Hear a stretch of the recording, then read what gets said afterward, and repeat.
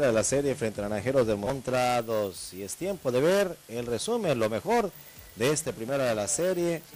El duelo de Nis Reyes por parte de, los Barajas contra los Guindas. A Mauri, a Mauri Sanit, el mejor pitcher en lo que va de la campaña. Anotaba primero Hermosillo con un error de Ronnie Hermustelier.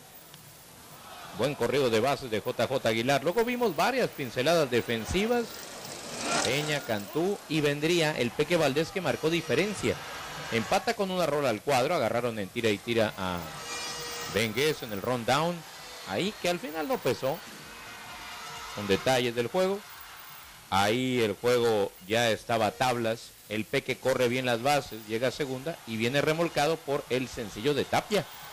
Fueron dos de abajo los que remolcaron las carreras Tres carreras para Tomateros, dos empujadas por el Peque, una por eh, César Tapia. Aquí una jugada polémica. Max León aparentemente sí alcanzó a meter la mano derecha. Cota hizo buen tiro de la inicial, protestó Tiaeche y fue expulsado. Batazo hacia el jardín central, reta en el brazo de Bengues.